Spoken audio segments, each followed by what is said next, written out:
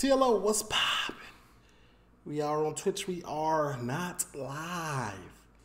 But you can leave a like, comment, subscribe, turn on your post notification bells. Let's continue to grow the family from Chicago to the UK. If we ever are live and you miss a live, right here is where all the highlights and things of that nature will be. Uh, link to this is in the description. Also, the link to the Patreon is in the description. This is what makes the channel be able to be the channel pays all the bills. uh, don't forget we got the Discord as well, man. This is where we get a lot of our requests, and one of those requests were Crime Watch Live. Series 17, episode 15, Friday the 24th of March. Last, okay, let's get into it.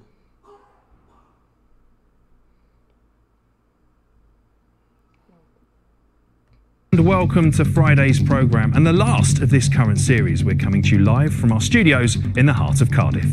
Today, it's the very sad murder of Jennifer Kiley, whose body was found in a seafront shelter in Eastbourne.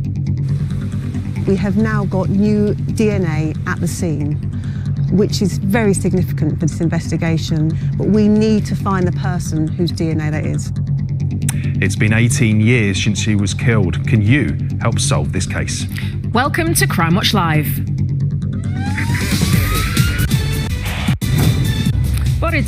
Before we start with today's programme, we wanted to bring you an update on an appeal we covered earlier this series about the sexual assaults on teenagers in Harpenden and Hertfordshire. Well, over these last 48 hours, police have charged a man with a number of offences in connection to this case, and we'll bring you more news on that when we can.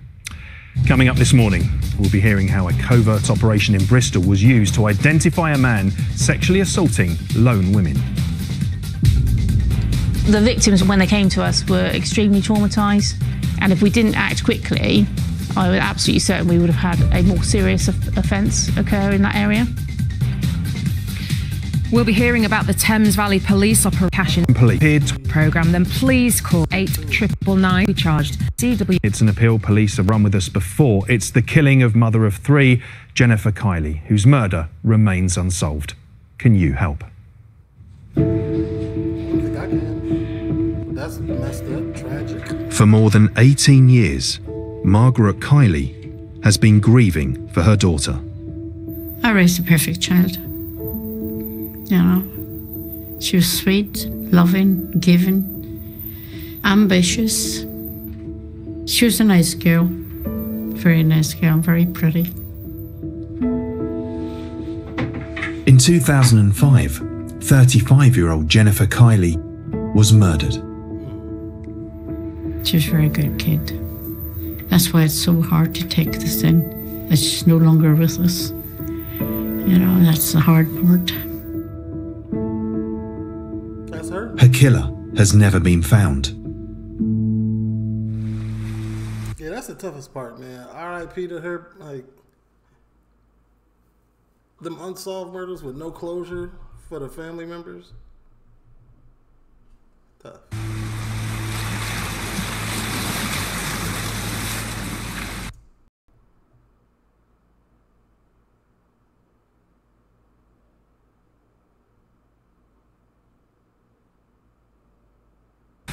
Jennifer's murder shocked the town of Eastbourne in East Sussex, where she lived, and was the subject of a major police investigation. But after two years, with no viable leads, the investigation was put on hold. However, since 2017, the police have been actively pursuing new lines of inquiry. Detective Superintendent Emma Heater now leads the investigation. Old homicides that aren't solved are never filed. We assess them every couple of years to see if there are any new techniques, uh, new technology, new forensic methods that we I was just about to ask that. Like, how do they file these things, and how do they like do? Because from 2005 to 2023, a lot of different technology, a lot of options have been, a lot of new things have been discovered on how to solve crime. But my thing is, any DNA evidence or anything that you may have had available to you the, the days of around the crime are gone now, right? Unless you like preserve them cryogenically or something. We can apply to old cases to try and progress them. In early 2005, Jennifer was living a transient life on the streets of Eastbourne. It hadn't always been like this. A few years before, Jennifer had been living in a house in London with her partner and three children. She, was just a normal mother, you know. She just uh, she loved to play with her children. She would sit down on the floor and play with them. She was a good mum. And she just loved her kids. But shortly after the birth of her third child, her mental health suffered and she struggled to cope. I think she was on the verge of a nervous breakdown.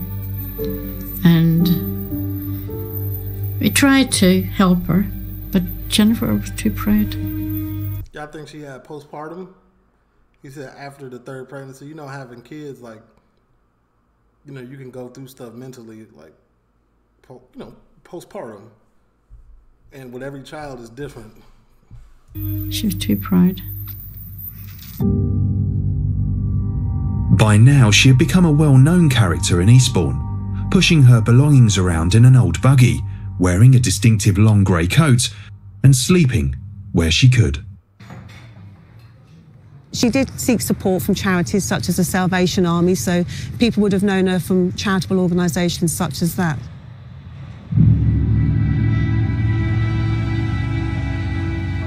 Detectives were able to piece together. Oh, shoot. Friday, January 21st, 2005, Eastbourne, Texas. I mean, I said Texas, East Sussex. Detectives were able to piece together her last known movements on the evening of the 21st of January, 2005. Jennifer had spent the day with friends at an address in Upperton Gardens. She'd come and gone from the address during the day. After having a bath at her friend's house, Jennifer left the address at around midnight How you doing? and headed back I'm done. onto the streets. At one o'clock in the morning, she is seen by a friend who knew her and recognised her. Hello, Jenny. She was seen to be heading westerly along Eastbourne seafront in the direction of Holywell. During the night, Jennifer had made her way down to the lower tier of the promenade near Holywell, finding refuge in a seafront shelter. Eastbourne Prom, during the daytime, it's very busy. Lots of families walk here, dog walkers, runners. But at night, it's very different. It's very secluded, it's unlit.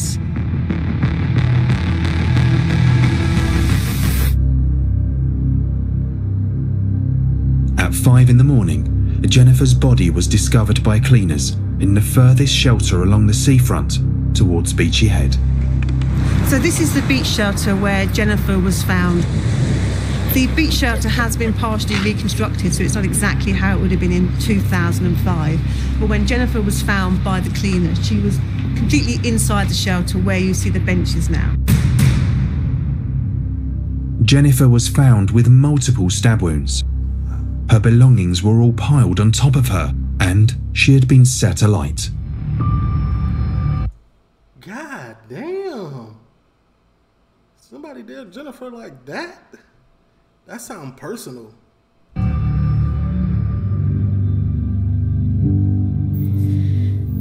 don't know how anybody could have done that. It's incomprehensible.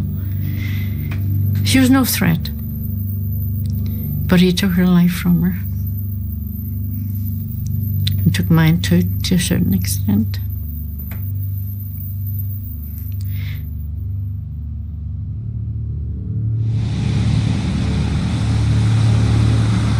Despite a major police investigation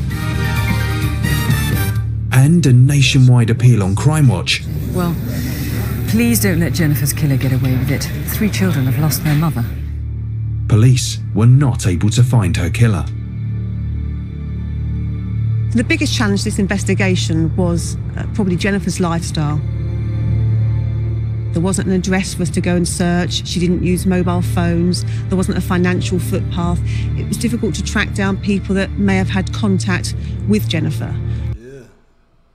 She was living like a, you know, she was living a homeless type lifestyle. Who's who's no connection. She was, she was, she was. What's that word? She was off the grid. There's no way you can even devel- develop like a trace of what happened. We didn't know if this is somebody who knew Jennifer or whether it was a stranger. This was a very, very complicated case to try and solve.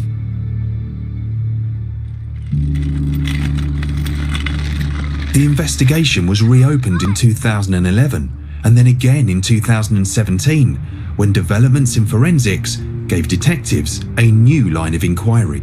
We have now got new DNA at the scene, which is very significant for this investigation. But we need to find the person whose DNA that is. We really DNA at the scene. We need the public to come forward and help years us on this. Or, or however many. January saw yet another anniversary of Jennifer's murder. It is the 18th her mother Margaret has endured. I think about her every day, but on her anniversary, I can't stop. I can't switch her off. You know, I get mad. Somebody somewhere knows who it is and what he's done. Just please come forward and let us know. It's not gonna work. Jennifer's murder really is incredibly sad, and detectives have not given up the search to find the person responsible. Jennifer was last seen on Friday, the 21st of January 2005, and had So it's like a bunch of quick hitting documentaries. This Crime Watch. I've never seen Crime Watch in my life. spent the day with friends in Upperton Gardens, leaving around midnight. She was seen on CCTV at the Kentucky Fried Chicken Shop on Langney Road, and then again at around 1am near Eastbourne Piers. She was spotted again by a friend walking along the promenade in the direction of Holywell. Just a few hours later, a member of the public discovered Jennifer's body in the shelter on the lower tier of the promenade. Now, there is one man who was seen by witnesses and was captured on CCTV the night of January the 21st, 2005, who police are still looking to trace. Now, he was described as having an Eastern European accent, around 5 foot 10 tall and slim to medium build. His hair was short and light blonde. He had a roundish face, dominant cheek and jawlines, and what was described as a very straight nose. Are they gonna show like a drawing of him? He was wearing a dark blue short jacket with a collar zipped right up to his chin, a pair of grey jeans, and white training shoes. The police have the DNA of their suspect. They now just need a match. If anyone, for any reason, hasn't yet come forward but does have details about this case, police are You said white training shoes. That don't add up. Then that ain't him. They said they, she stabbed somebody to death. It, it would be like blood all over. Urging you to please come forward. Now, remember that DNA can be used to eliminate people from this investigation as well as match the person responsible. You can contact us on 08000 468 999 until midday, and that is, remember, a free word crime, leave a space. Later, we'll be joined by the for NHF Other people. Time to bring you a couple of other appeals now. First, West Midlands Police want to speak with these two individuals in connection with a stabbing in Birmingham city centre.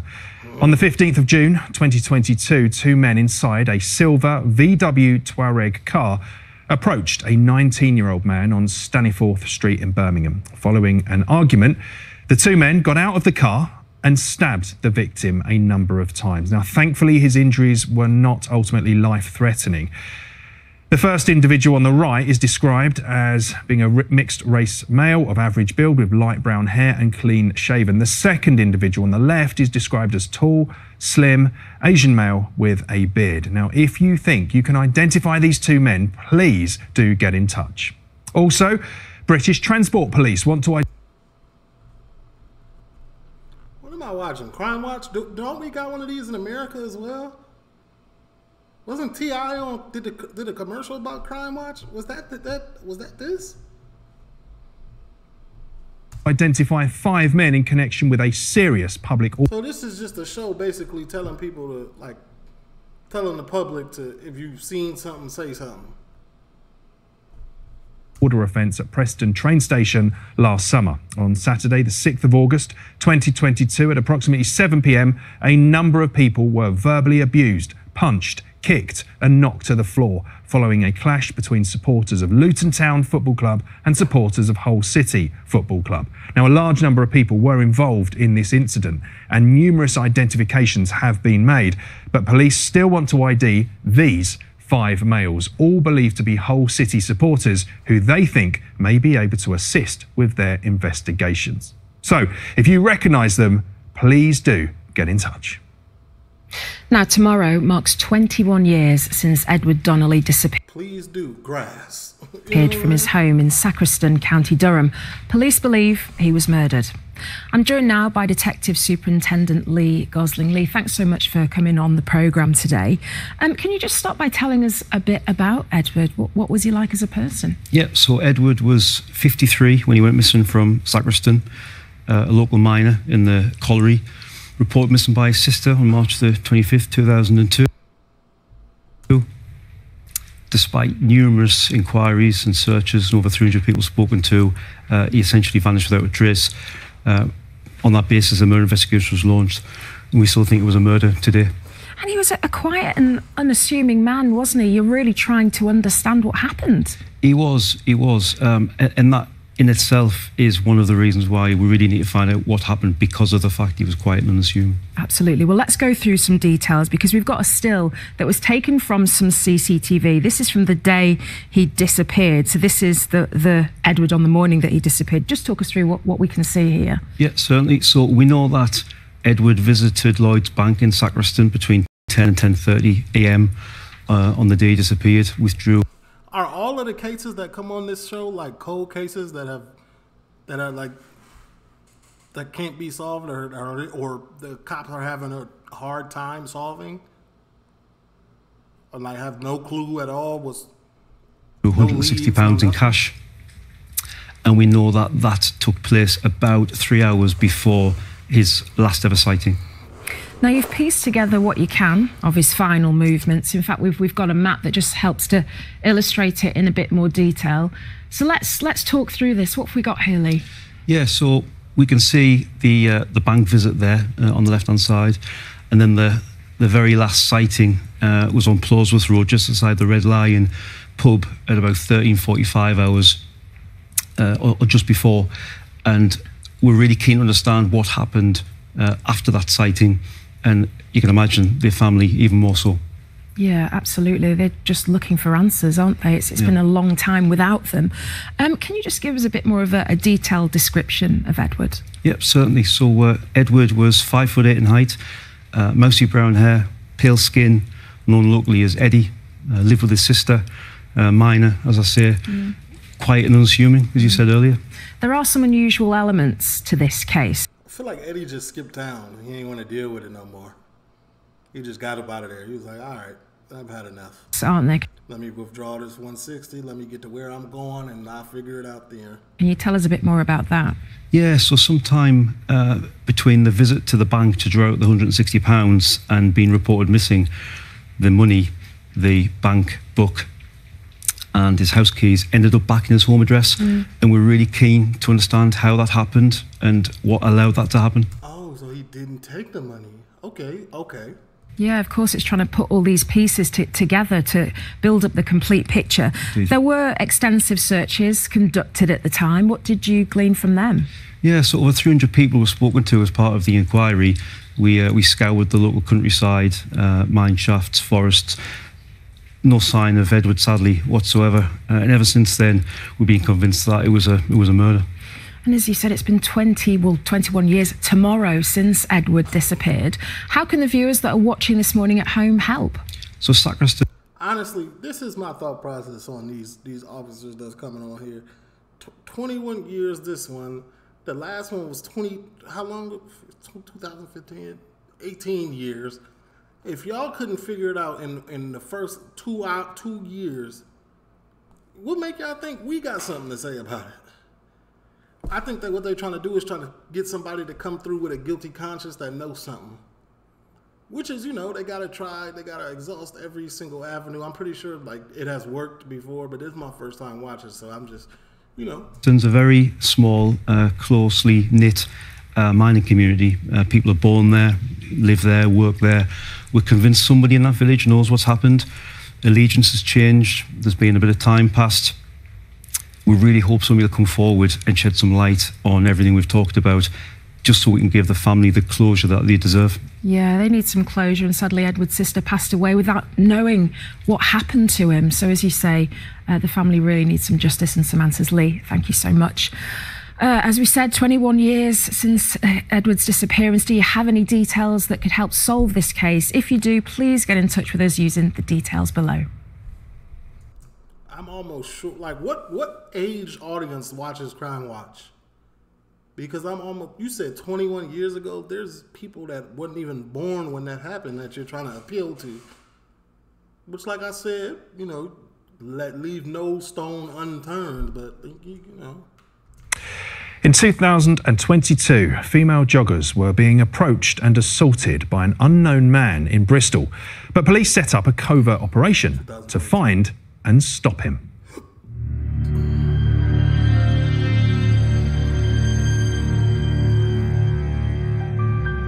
In March 2022, police in Bristol began receiving reports of a series of sexual assaults, all in the early hours of the morning and all in the Bishopsworth area.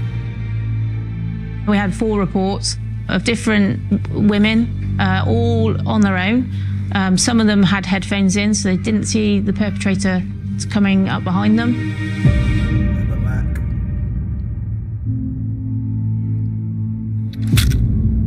The victims, when they came to us, were extremely traumatized.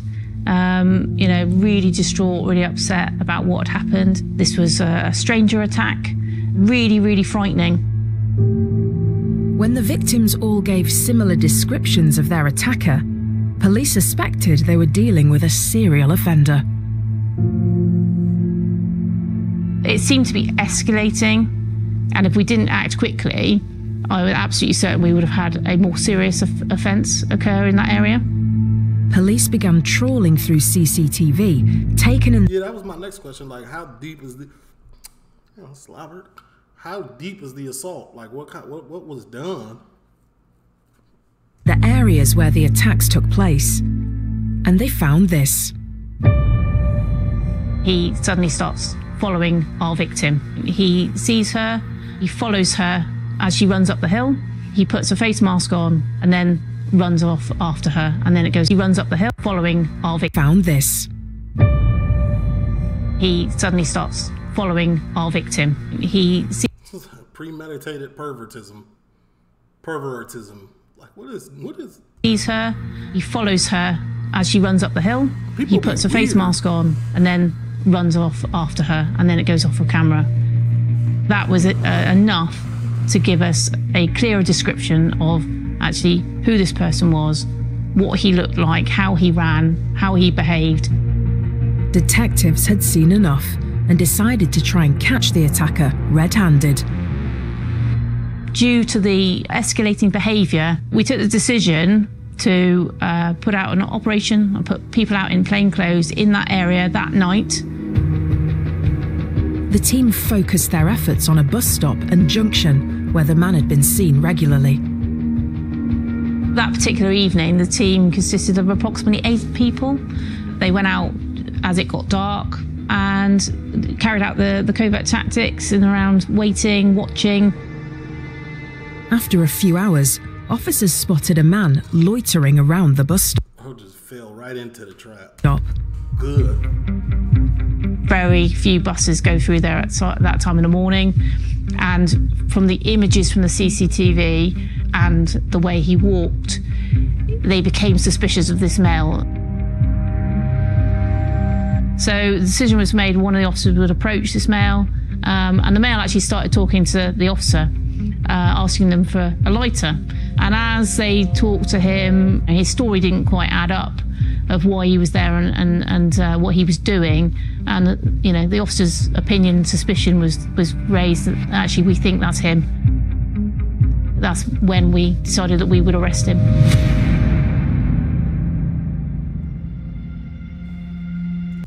Caught you red-handed. Well, not red-handed, but you know what I'm saying, on suspicion.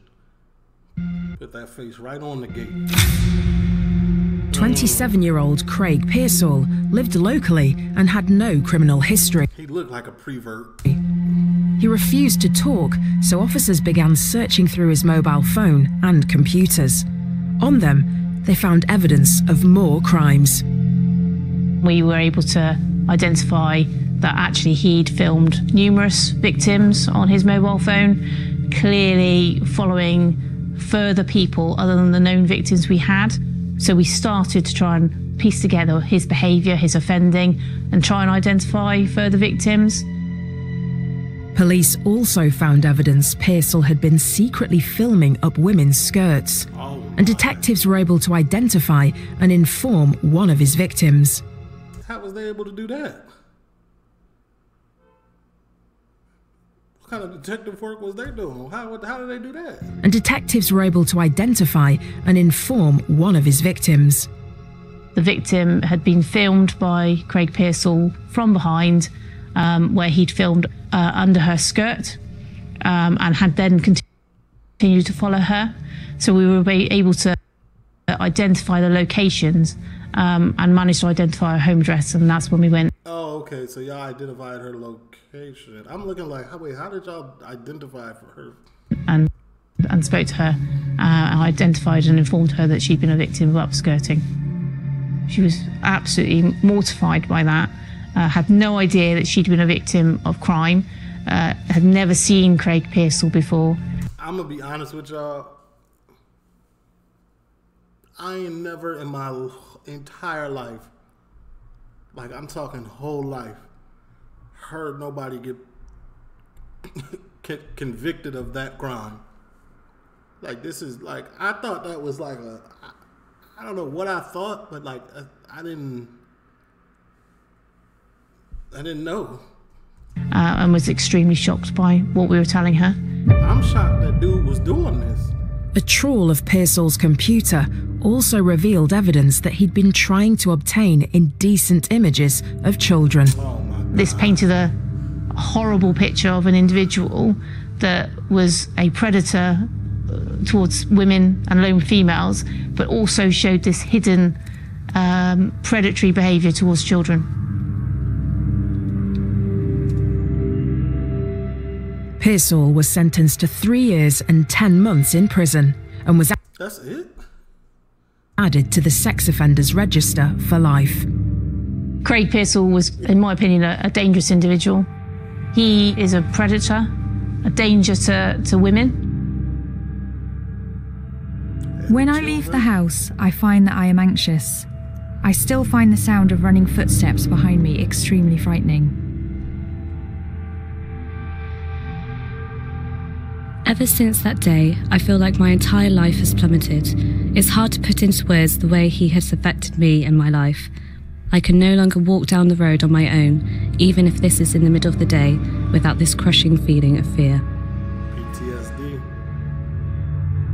Without the, the victims uh, coming forward, being brave, uh, and reporting these incidents to the, to the police, um, Craig Pearsall would still be out in the community, and I have no doubt that he would be continuing to offend.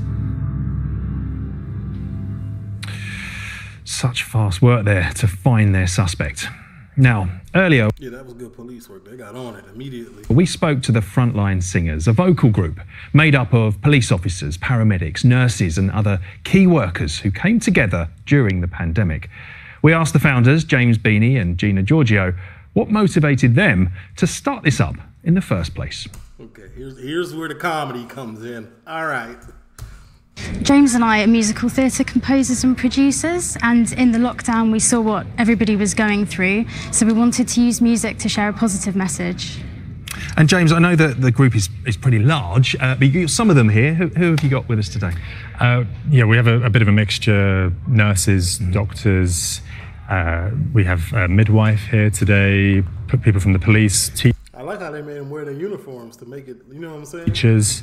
Uh, we also inclu- include members, uh, there are actually some actors in the group who during the pandemic took on frontline or key worker roles. Yeah, so everyone here was working on that front line in some way, shape, or form during the pandemic. Yeah. And Gina, you've even got your dad, That's salutable. Demi, PCSO Demi. Hi, Demi. How you doing? so, so why did you get involved in the group then? It's my daughter. How could I say no? um, yeah, I mean, when when they told me about the project and the people that were going to be involved, um, when I met them, I, I couldn't say no. It felt like a family instantly, and it became almost like um, an escape. It was like therapy, and it's been a joy ever since. So lovely. And Gina, Are they gonna sing for us? What a pleasant surprise. Now, you, you said you met during uh, in, in lockdown. This all started, and you met sort of virtually at the time. Uh, but in person is the first time you actually met when you went on Britain's Got Talent and did very, very well, may I add. Thank you, thank you. They was all the way on Britain's Got Talent, so this is not something that I can make fun of. This is like they're gonna be good. Yeah, that's absolutely right. So, because our group is from all over the UK, it was actually really difficult to get everybody in the room together at the same time. So, we'd been rehearsing in sort of smaller groups, and the first time that we all got together was the audition for Britain's Got Talent. Wow. You know, it's so great to hear that you've got this sense of community now. You're all friends, you know, you're in it together. And you also raise money for a range of charities, don't you, James? That's right. So the, the original Strange Old World video that we released during the lockdown was for NHS charities together. And then after The fact that they just went from my bad. The fact that they just went from somebody being convicted of upskirting to this is wild. to BGT, we sort of properly recorded the uh, the single "Strange Old World" at Abbey Road Studios, which was an amazing experience. Oh, Abbey Road Studios. That's where Jordan. That's where Jordan did his last uh, project. Obviously for his first project. for the group, and uh, yeah, that that was released for Frontline 19, which is a, a charity that offers psychological support to people on the front line who have obviously suffered such a, a or gone through such a difficult period during the pandemic. And Gina, tell us the importance then of what you are going to sing for us today. So, the song is called Strange Old World, and it is exactly. We get a damn song, and I, I'm gonna have to mute it. Y'all know how it goes. about that, how strange the world is and the unexpected things that it throws our way, but it's about standing together as a community to get through it. Oh, well, thank you so much to all of you for coming today. We're really looking forward to hearing the song at the end of the programme. Uh, Oh, we're gonna wrap it up with that song. Okay. Now, this series, we've heard remarkable stories of those involved on the front line and the legal system, and now it's time to hear both the physical and emotional journey of Aderonke Apata.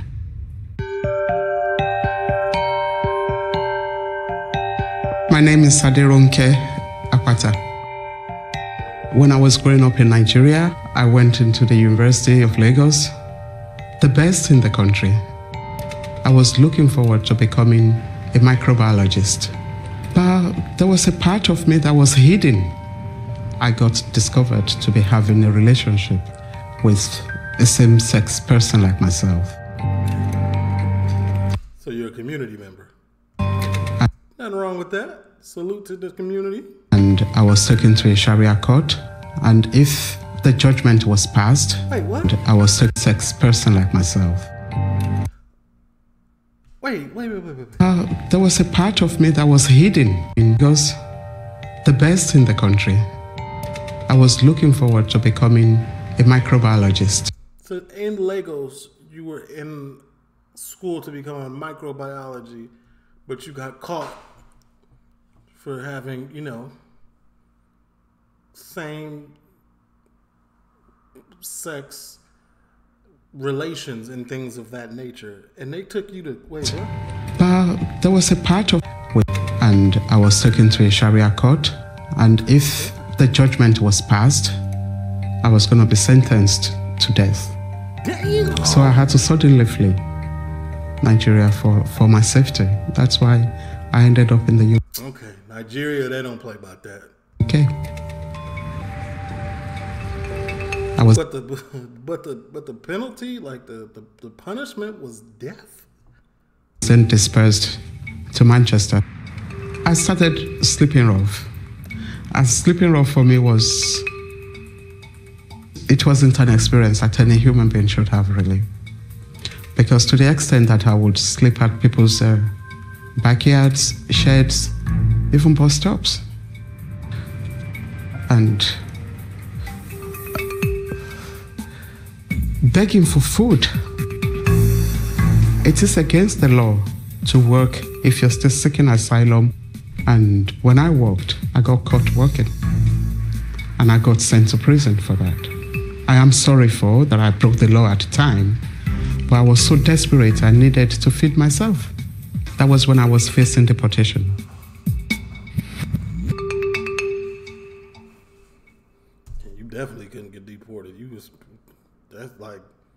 Deportation for you is life and death. I couldn't afford to pay for a solicitor, and so I had to start researching. And whilst I was in detention center, a lot of people told me then that I should go and read law.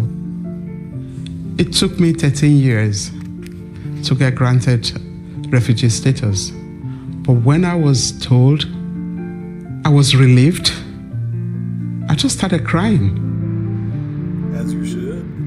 It didn't really sink that I could become a barrister one day. When I was called to the bar, that was one of the.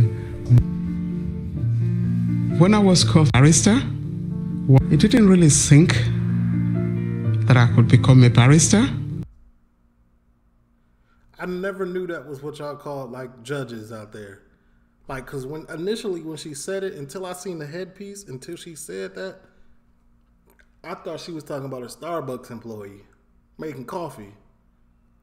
I'm not even lying to you. I'm like barista. What? One day,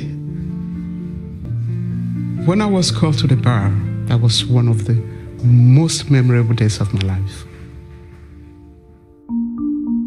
I'm trying to help other people in the same situation that I was in who are fleeing persecution also. So I'm from the charity called African Rainbow Family. We have five centers in the UK. We have over or nearly 900 people that we support every year. My hope is that those that have been granted their stay would continue to help the other people coming so that they also can get the freedom that they deserve. We need safety and sanctuary for people who have been persecuted back in their countries in the UK. African Rainbow Family has actually helped so many people to secure refugee status in the UK. I feel it's important for me, really, to share the knowledge that I have in helping other people to be able to be safe and just so that other people will not find themselves in the same way that I was because being homeless, being I mean, anyway, that's the goal, man. Help other people. You know, you you you you you ran so other people can walk. You got thrown in that fire so other people can, you know, stay heat resistant. You sank so that other people can float. That's the one. That's the best one. scared of the future. It's not it's, it's not something that I want any other person to go through.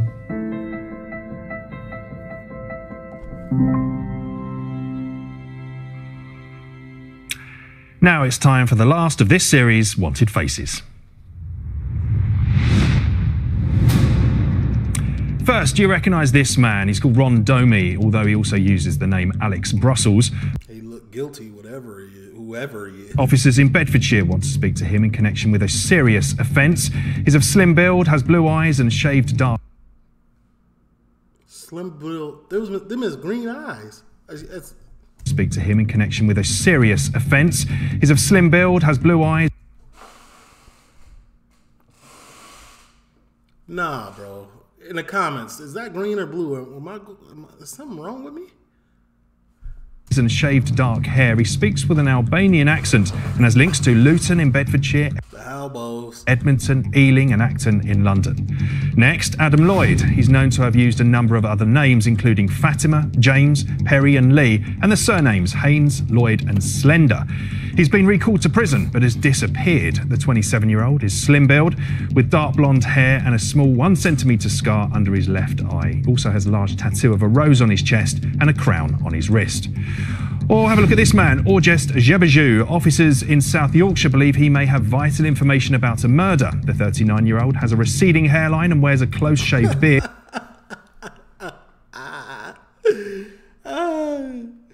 hey, I know they just didn't use a descriptive to describe a man as with a. That's vital information about a murder. The 39 year old has a receding hairline and wears. that's that's emotional distressment. a close shaved beard, originally from Albania, but also speaks Italian. He has connections across England, including the whole of Yorkshire, Humberside, Bedfordshire, Leicestershire, and also Essex. And finally, for the run, have you seen Steve Shannon? Officers in Merseyside want to speak with him about some firearm related offences. The 28 year old's of slim build, with dark curly brown hair and brown eyes. All the faces from this series are on our website, and if you have any information, do get in touch. Our final film this series is the incredible police work that went into identifying and catching a gang of some of the country's most ruthless thieves.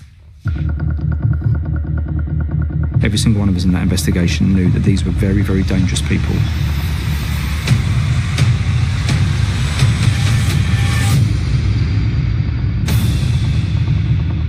That they were cynically committing crime in our communities. Oh, is this like the ATM robberies?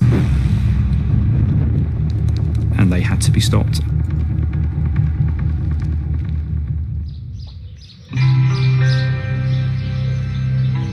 Thames Valley is home to some of the most picturesque towns and villages Yeah, the UK be beautiful. Look at this. in England.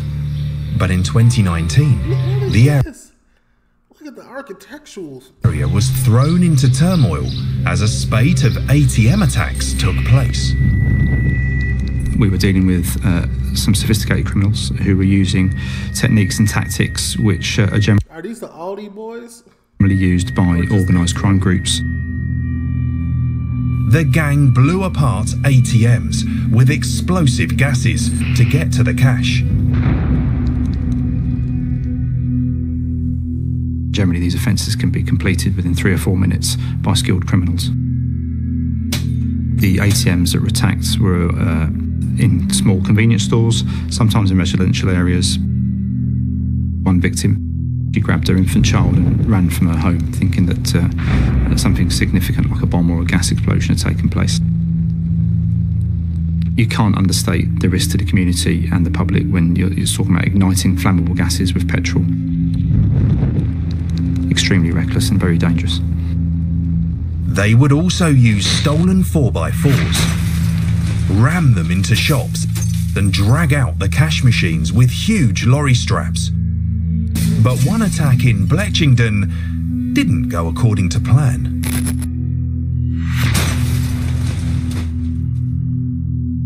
traffic officer responding to that alarm call and calls from members of the public got sight of the vehicle that was uh, in possession of the ATM, pursued it.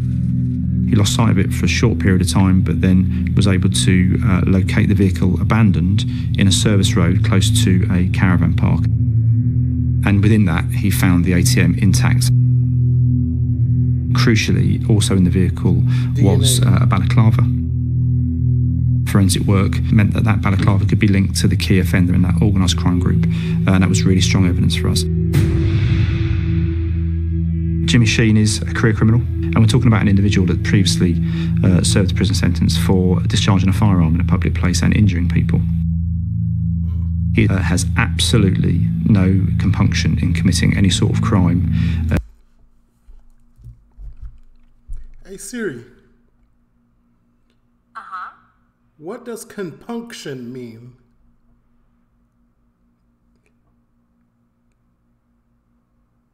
Absolutely, a feeling of guilt, moral scruple. Scruple. Oh, a feeling of guilt or moral scruple, scruple that prevents or fi- why wouldn't he just okay? I guess that's W vocabulary for this gentleman. No cap. Uh, it's quite intimidating and threatening to people that get in his way. Sheen is not someone that you would want to cross. Police intel began to link the ATM attacks to this one group. And with the heat on, they switched to another type of crime stealing high value agricultural and plant vehicles. Fundamentally, a very expensive Those things are expensive. extensive one on my area in a place called Cassington, where they stole uh, £400,000 worth of brand new tractors. Quite an audacious theft, where they drove all six of them out of the location in one night. That's crazy though. I ain't never seen nothing like that. This is the first time I ever heard of a crime like this. Only in the UK is they stealing tractors. uh. With evidence of offences piling up against them, the police needed to disrupt the gang's activity. So they recalled Jimmy Sheen to prison for owning a vehicle, which was a breach of his parole. But that still left the other members of the group who were perfectly capable of continuing and committing serious aggressive crime on their own, uh, and they chose to do so. Intelligence led the police to a stolen black Mercedes at a caravan park near Kidlington. So on the 10th of June 2020, a drone team was sent in to investigate. What they showed me was quite remarkable. Not only had they located the vehicle, but the activity around it over a period of sort of 10 minutes showed me men in black beanie hats, balaclavas, heavy jackets, and gloves. They'd captured what was quite clearly the group preparing to go out and commit another serious offence. Red-handed. So for me, then the pressure was on because we didn't know where they were going and we had no control of that vehicle. At one, at some point, you got to be like, okay, we got enough. You know what I'm saying? Because the life of crime is going to, the life of crime normally gets extended because of greed. You get what I'm saying? Especially robbers and whatnot. Like they, enough is never enough. You get what I'm saying? So they just like continue and continue to, and sometimes they just addicted to the rush of it. That's why they can't really stop. So greed is gonna get you popped. You doing these type of crimes, you gotta know you. They're they're they're looking for you. I then get another uh, urgent phone call, and I'm told that that vehicle has uh, been on the wrong side of the road, on a blind bend, has been involved in a very serious uh, road traffic collision. Key piece of evidence in the form of a mobile phone was thrown from the vehicle by uh, the driver, despite his injuries. But thankfully, a sharp eyed firefighter spotted that, and that became a real key piece of evidence. One of the men in the criminal's car died.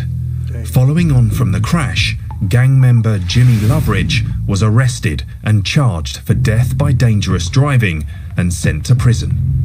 The police launched Operation Jackknife to bring the rest of the organised crime group to justice. Detectives conducted a search with our forensic teams of the Mercedes, and what was recovered from them was pretty startling.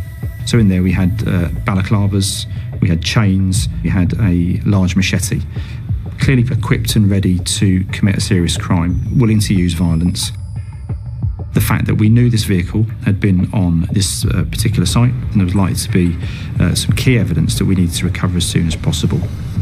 So we were able then to obtain uh, two search warrants on a caravan site near Kidlington. They discovered £18,500 in cash, homemade balaclavas, and stolen vehicles. But it was at the back of the site that yielded crucial evidence for I feel like these are like a part of the group, the Audi boys. I know that was in er, Germany, but didn't it like branch off to the UK as well? the police. Gas cylinders, Along with that were things like uh, disc cutters and other stolen tools, which we also knew were hallmarks of the earlier ATM offending. We recovered critical uh, evidence in the form of a number of mobile phones. Detective Inspector Lorna Briggs led the team analysing the phone data. So we're looking at lots of different things in terms of the phones, photos taken from them to try and identify who they belong to, uh, contacts in there, voicemails, any messages that have been sent, phone calls, but also mad, so bad. when the phone's off, that can tell us quite a lot. Can we match that up to offending? When does it come back on again? Is that after the offending? And that very much formed the focus of this investigation in relation to phone work. So what we had to do is turn that intelligence into evidence. The phone that was recovered from the crash belonged to Jimmy Loveridge.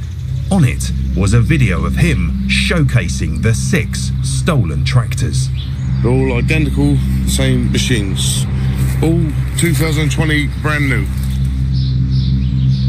There's also suggestion on the videos that they're actually um, stealing to order. Man dying for one. It's a baler, a baler.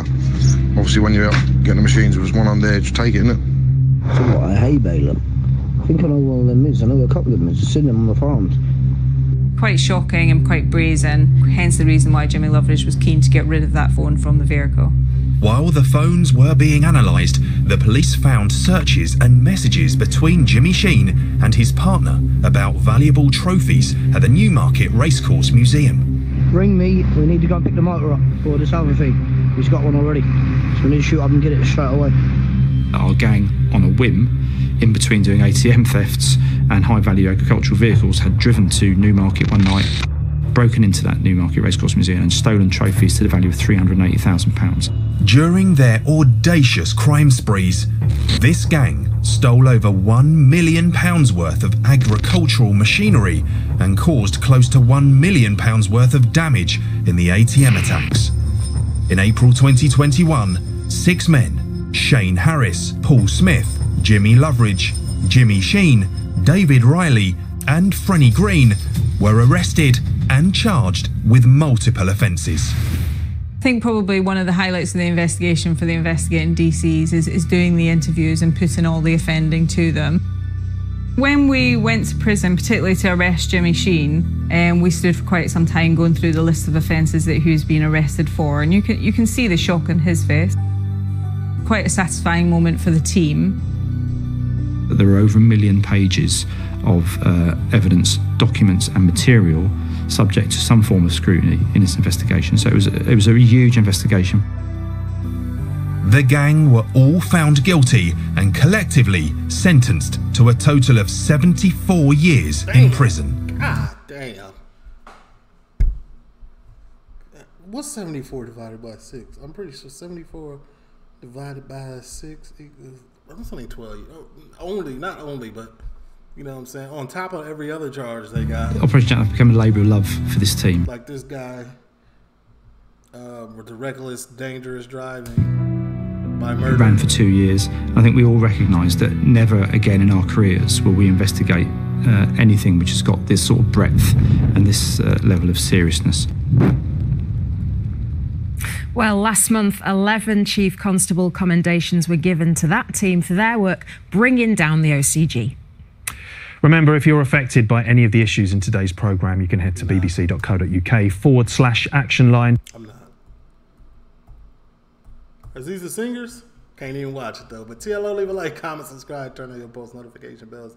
Um, I don't know if this is even gonna let me go to YouTube, so it might be on Patreon. Who knows? I'm gone.